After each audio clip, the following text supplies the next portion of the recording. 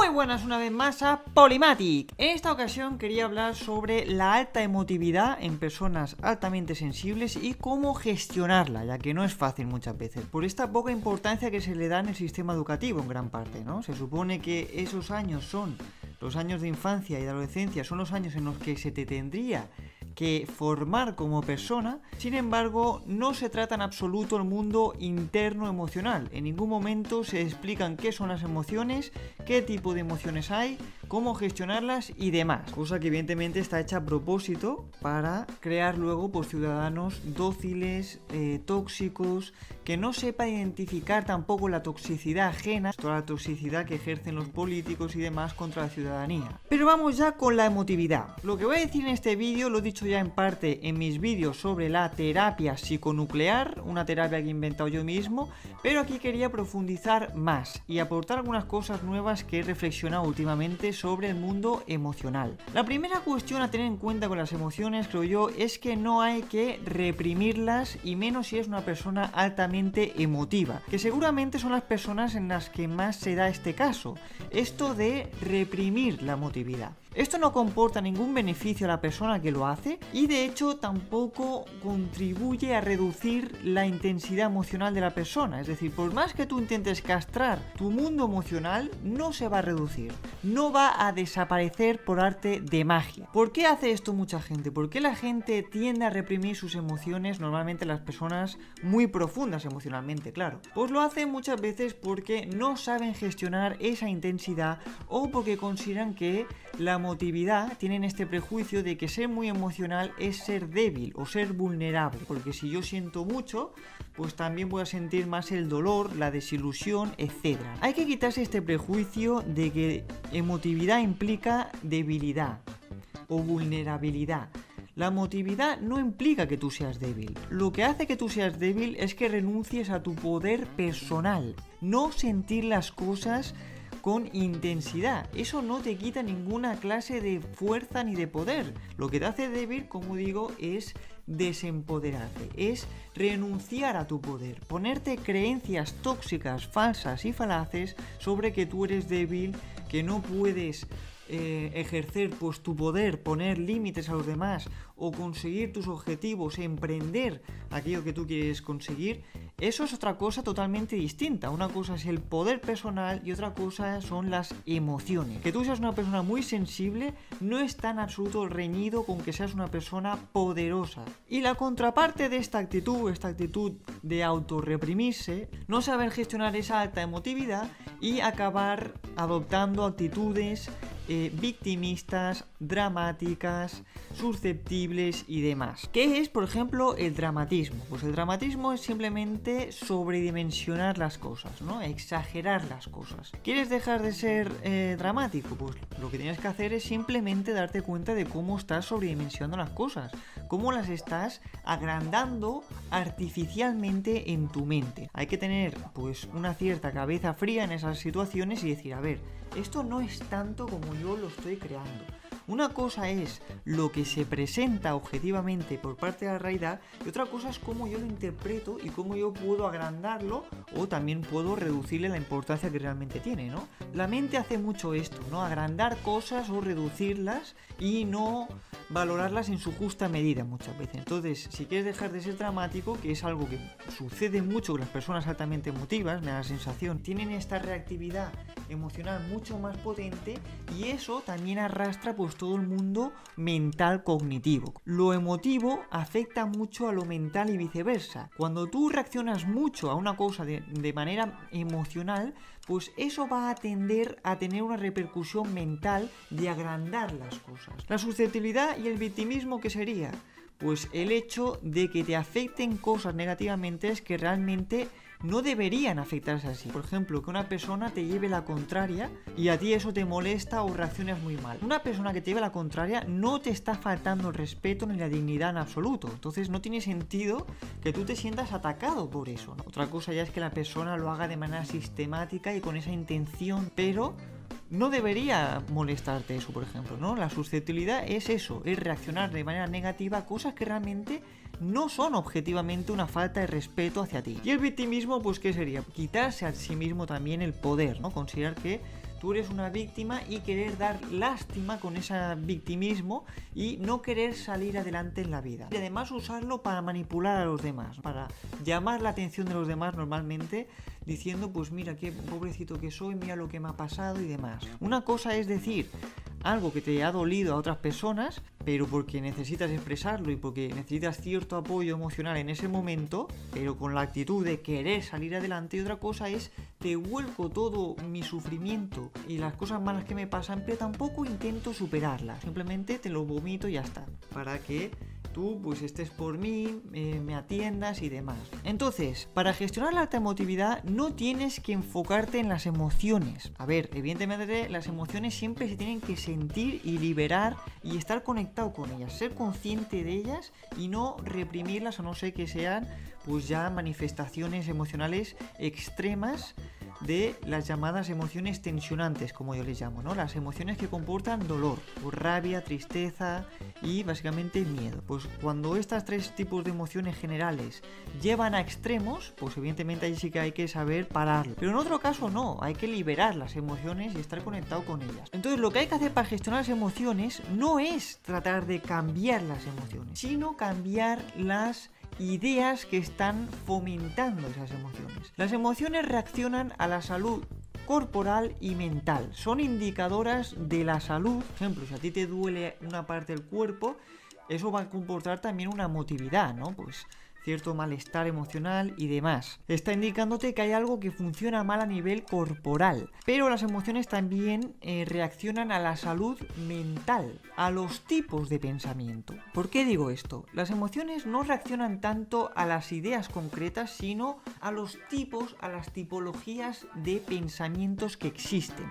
Sobre todo vinculados con tu poder personal y con tu dignidad. ¿Qué quiero decir con esto? Por ejemplo, dos personas pueden tener fobia, ¿no? Por ejemplo, una persona puede tener fobia a eh, la gente, ¿no? Y otra persona puede tener fobia a los espacios cerrados, ¿no? Pues claustrofobia, por ejemplo.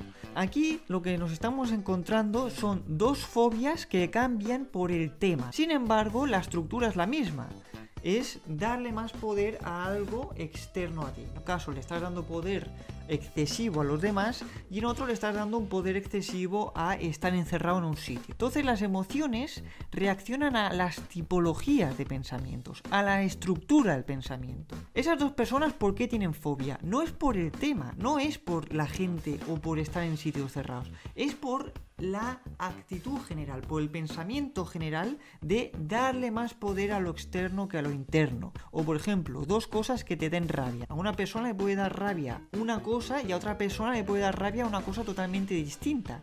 Pero ¿por qué a las dos les da rabia esas dos cosas? Pues porque están considerando que una buena estrategia para superar eso que le está causando un malestar, pues es violentar eso o ejercer cierta agresividad. Entonces las emociones reaccionan a los tipos de pensamiento, no al tema.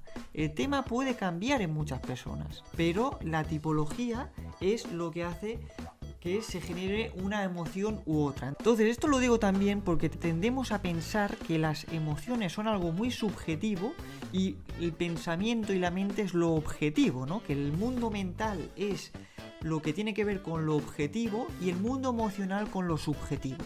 Y es todo lo contrario. Toda persona que tenga una cierta un cierto tipo de pensamiento va a tener una emoción concreta. En el caso de la tristeza, pues muchas personas pueden tener tristeza ante diferentes cosas, ante diferentes ideas van a sentir eso que les da tristeza. Pero todas las personas, independientemente de tu forma de pensar y demás, van a sentir tristeza ante un tipo de actitud o de pensamiento general, una tipología de pensamiento. Cada emoción responde en gran medida a el poder que tengo yo para superar un dolor o algo que me está obstaculizando, algo que yo quiero conseguir. La rabia, ¿qué tiene que ver con el poder? Pues la rabia responde a la creencia de que yo puedo ejercer un poder violento para superar algo que me genera un dolor.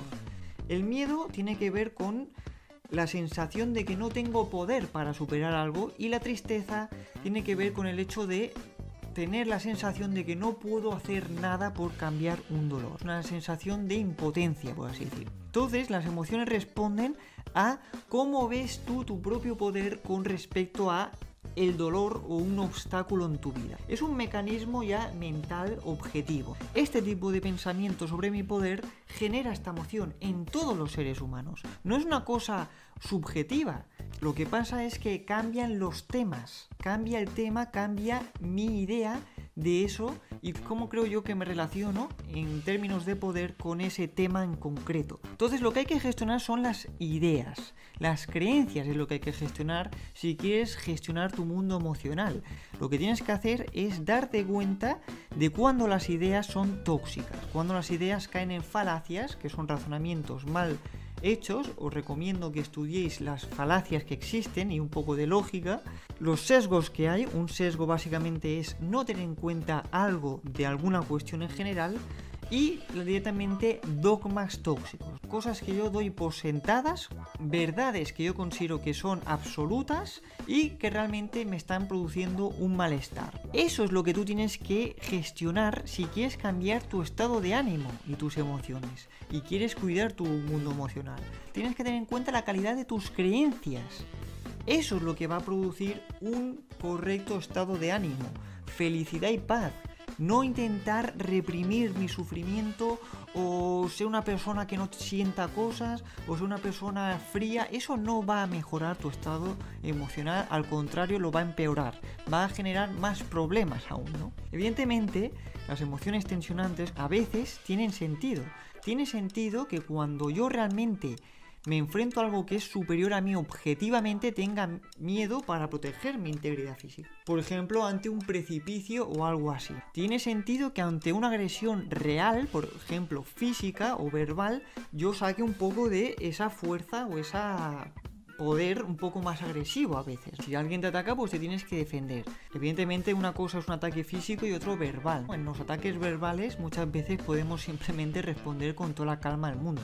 No hace falta ejercer agresividad, ¿no? Pero esas emociones están también por algo. Realmente siempre son buenas las emociones tensionantes, siempre te van a señalar algo, siempre te van a eh, mostrar algo que tienes que cambiar en tu mundo mental, no emocional, mental. Entonces las emociones indican cuál es el problema, las emociones tensionantes te están, te están señalando qué tipo de creencia estás teniendo con respecto a algo y además también te están señalando la solución realmente, ya te están indicando la dirección de la solución. Por ejemplo, si algo te da rabia, pues ya te está indicando esa rabia que tendrías que gestionar tu mundo mental para ganar en paz mental y que eso no te dé rabia. Si algo te da miedo, esa emoción te está indicando no solo que estás haciendo una creencia tóxica con respecto a que tú eres más débil de lo que realmente eres, sino que te está indicando tienes que fortalecer tu confianza personal. Cada emoción tiene una opuesta, ¿no? La del miedo es la confianza, la tristeza pues la ilusión, por ejemplo, ¿no? Y de la rabia pues la calma. Entonces, cada emoción tensionante te está indicando hacia dónde tienes que irte. Tienes que adoptar creencias en tu mente que te provoquen esas otras emociones opuestas. Esas emociones alegres, productivas, constructivas. Cuando tú cambias una creencia por su opuesta, vas a crear la emoción opuesta, porque cada tipo de creencia está vinculado a una emoción. Si una creencia tóxica te está provocando emociones negativas, tienes que adoptar las creencias opuestas para obtener las emociones opuestas. Y vinculando esta emotividad también a cómo nos relacionamos con, las, con el resto de personas, porque las personas neurotípicas, las personas de la masa en general, son personas que tienden a tener una emotividad más bien baja o media. Entonces, evidentemente, si tú tienes una emotividad alta, vas a sentir una cierta disonancia social. Vas a sentir que eres que hay una cierta distancia con los demás, en ese aspecto emocional al menos, ¿no? Si además también eres superdotado o tienes otras condiciones neurodiversas, pues también te vas a sentir más distanciado de la sociedad con respecto a esas otras características. Pero por lo general, la alta emotividad sí que es verdad que no comporta tampoco mucho estigma o problema a nivel social. La alta emotividad no se ve como algo malo por lo general o algo amenazador, por ejemplo. Sí que es verdad que hay gente, la gente por ejemplo más tóxica, sí que va a castrar tu emotividad, ¿no? Y te va a decir, es que eres demasiado emocional, es que te afectan demasiado las cosas. Esto suele ser gente ya pues manipuladora, que lo que quiere es someterte, quiere reducir esa parte, esa parte emocional para poder pues someterte mejor o simplemente para Evidentemente, si esa persona te está dando un consejo objetivamente bueno, a lo mejor te está diciendo, te estás tomando algo mal que realmente no te está afectando, date cuenta, eso ya es otra cosa, ¿no? Eso ya es un consejo constructivo, pero me refiero a estas personas que simplemente buscan hacer que te sientas mal con tu emotividad o cosas así. Pero por lo general la masa no lo ve algo mal, la mayoría, los neurotípicos, no ven algo negativo que tú seas muy emocional, ni van a reaccionar negativamente a eso, por tanto en ese sentido no hay tanto problema, ¿no? A nivel general de relaciones Lo que sí que genera más disonancia con los demás es la alta empatía. Pero también hay que tener en cuenta que no siempre una alta emotividad genera una alta empatía. No siempre son dos rasgos de la personalidad que vayan unidos. Y de hecho voy a tratarlo en un vídeo cómo la alta empatía pues influye mucho en tu forma de ser y en tus relaciones sociales. Así que hasta aquí el vídeo de hoy. Deja tu buen like si te ha gustado y te ha servido, suscríbete al canal para hacerlo crecer, dale a la campanita para estar tanto los siguientes vídeos que voy a seguir subiendo y nos vemos en el siguiente vídeo.